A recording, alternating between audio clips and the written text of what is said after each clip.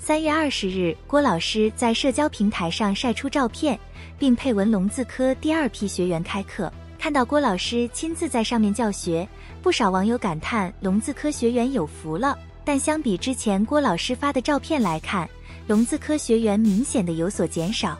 虽然能够得到郭老师的当面授课，非常的荣幸，但想要从这些学员中脱颖而出，还需要付出许多的努力。龙字科第一批学员仅有十九位被赐字，也被大家称之为头龙。这十九位可以说是龙字科学员中的佼佼者，他们为了得到这个名额，也下了不少功夫。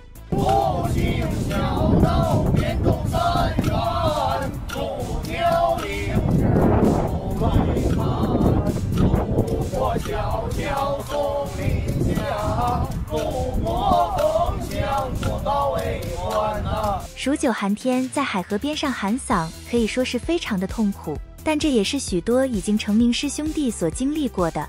张云雷、孟鹤堂等人都经历过这个阶段，就连人人都宠爱的小师弟秦霄贤，也体会过早起喊嗓的艰苦。我学相声得有七年了，早上起来六点，说每天起床，找个河边啊，背关口对着河背。如今龙字科的学员还有厚厚的棉衣穿。但在岳云鹏那个时期，越是冷的时候就穿得越少，一阵风吹过，冻得直打哆嗦。即使这样，还能说话不打磕巴。那在常温下靠嘴皮子吃饭更不在话下。天最冷的时候，零下几度，你还不能穿得特别暖和。我们要把这个嘴啊冻到，要要把嘴冻得很很就说不了话。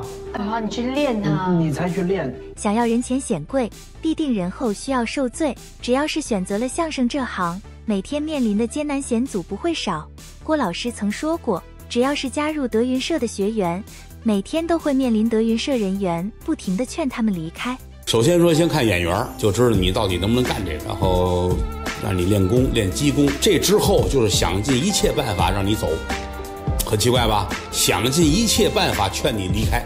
如果你最后能够留下来，那么恭喜你，你就成功了。我们老劝你，你看都来三年了，你还没红，你是不是走吧？干点别的去。你都来五年了，你还没有买大汽车，你还不走，干点别的去吧。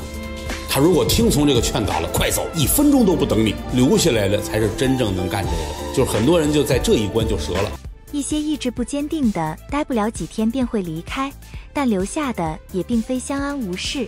有些或许能够待上三五年，在此期间，每天都需要练习相声基本功，但也许连相声的舞台都上不去，更别提成名了。还有些学员会放到小剧场打磨，这中间具体几年才能出人头地，谁都无法预料。但只有经历这些，才有成名的机会。如今看到第二批龙字科学员减少，才真正的体会到相声发展的不易。想要成为郭老师的徒弟，也没有那么容易。